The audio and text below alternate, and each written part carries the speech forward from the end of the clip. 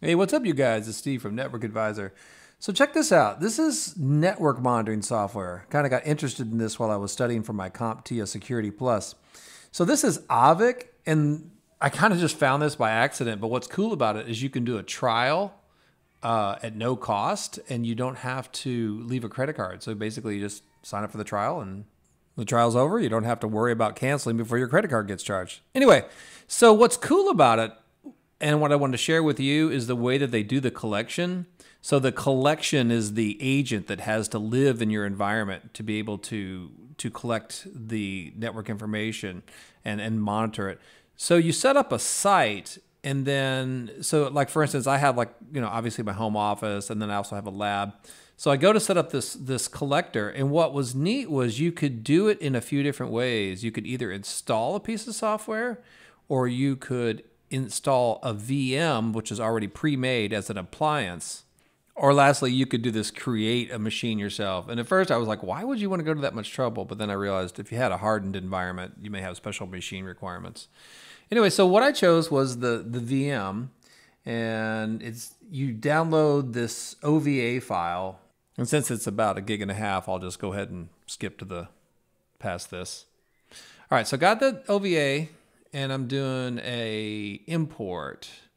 So I say, okay, go browse to it, import the OVA. So the OVA itself is not the machine. It's just like the importable file that then creates the uh, the VMware uh, instance. All right, so get my path all set up, import. Here we go. I sped it up a little bit. It, it actually took like, I don't know, minute and a half, but I put it on four times speed for you there. All right, so got that. Now go ahead and launch it. Now I actually am, you know, voiceovering after I did this because I didn't know what I was going to find or what I was going to see as I as I did this, and uh, it goes through this kind of a lengthy startup process because I guess there's still some installation stuff that it still has to do, and. Uh, this whole process, I want to say, probably took, I don't know, three, maybe five minutes. Because obviously I've got it, you know, on like eight times speed or something like that. And then, ironically, after I got it all up and running, I kind of realized that I should have done some things to the VM's um, network card settings before I uh, before I installed it because it actually ended up coming up on the wrong network. But I'll get to that here in just a second. So once it's finished, you just get this kind of basic command line menu. And of course, the first thing you need to do is establish the IP address. I thought it was interesting here that it offered DHCP as an option because it said, I remember somewhere in the documentation said, do not use a DHCP address. You know, in other words, use a static address.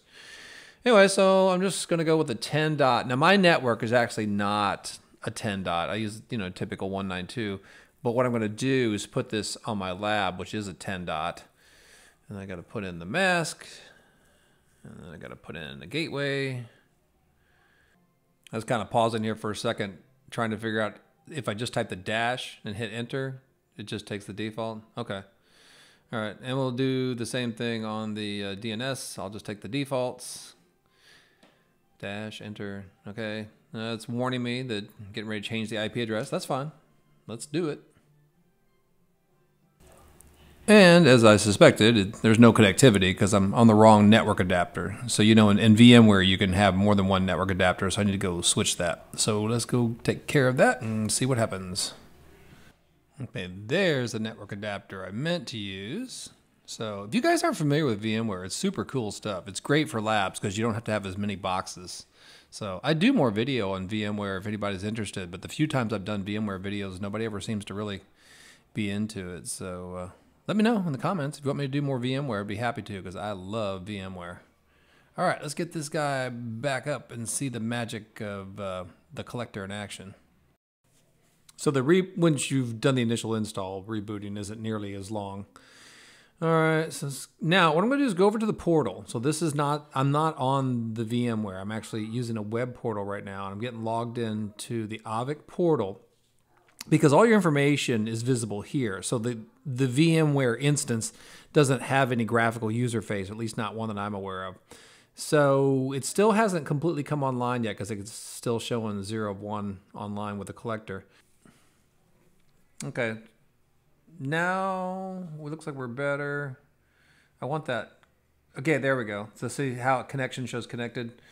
So now up above is a network map that's beginning to build. Um, what was confusing to me at first was how it's finding so many devices because I knew there wasn't that many on my lab. But then I remembered I had it briefly connected to the wrong subnet, so maybe it picked up all that that fast. Now, what's interesting is the longer this thing stayed connected, the more information it found out, and the map would grow bigger and more detailed. And I'll save that for a different uh, conversation because I really don't know enough about the software to be able to give you a good overview on it yet. So I'll save that from a different video. Mostly just wanted to show it to you and show you installing the OVA, you know, the VMware instance. So that was pretty cool. All right, well, if you want to check it out, there's my link. Link's in the description also. It is an affiliate link, but if you click the trial, you can do the trial all day long. It doesn't, I have no skin in the game. I don't get compensated for you guys doing the trial. Okay, I appreciate you watching. Thanks.